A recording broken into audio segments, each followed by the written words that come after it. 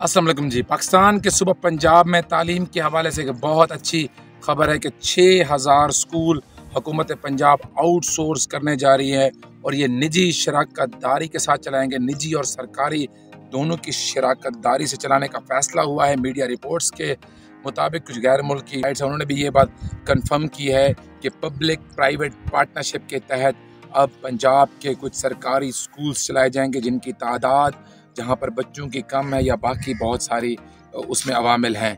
Punjab education foundation, जिसे PEF कहा जाता है, जो एक इनकलाबी प्रोग्राम था पंजाब में, उसके तहत ये स्कूल चलाए जाएँगे और तालीमी निज़ाम को बेहतर किया जाएगा। अच्छा ये स्कूल किन इलाकों में चलाए जाएँगे? ये पंजाब के मुख्तलिफ़ अजला में थ्रू आउट पूरे पंजाब में जहाँ जहाँ पे ज़रूरत होगी, ये वहाँ चलाए जाएँगे।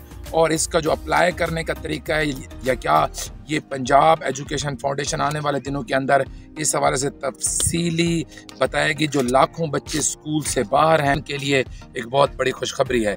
अच्छा इन स्कूल्स को कौन ले सकता है? नौजवान लड़के, लड़कियाँ जिनमें अहलियत हो स्कूल चलाने की, और वो पंजाब एजुकेशन फाउंडेशन पैफ के पूरे जितने भी उनकी शराय उस पर पूरा उतरें।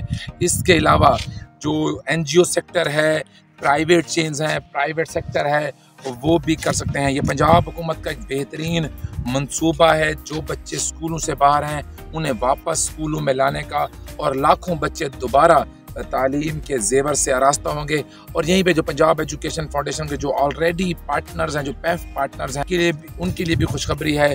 हो सकता है कि आने वाले दिनों के अंदर जो पैफ है, कोई कुछ रिलैक्स करे अपनी शराइ में क्योंकि ऑलरेडी जो पैफ पार्टनर्स हैं, वो पंजाब में बहुत अच्छा काम कर रहे हैं। पंजाब हुकूमत के इस फैसले की तायद करता हूँ और मैं समझता हूँ ये इनकलाबी और तारीखी फैसला है। इससे अगर ये स्कूल दिए जाएँगे तो नौजवान जो बेरोज़गार नौजवान हैं, उन्हें भी बतौर उस्ताद मुलाजमत मिलेगी और पूरा एक मुआशी सेक्टर और तालीमी सेक्टर बहाल हो जाएगा। बहुत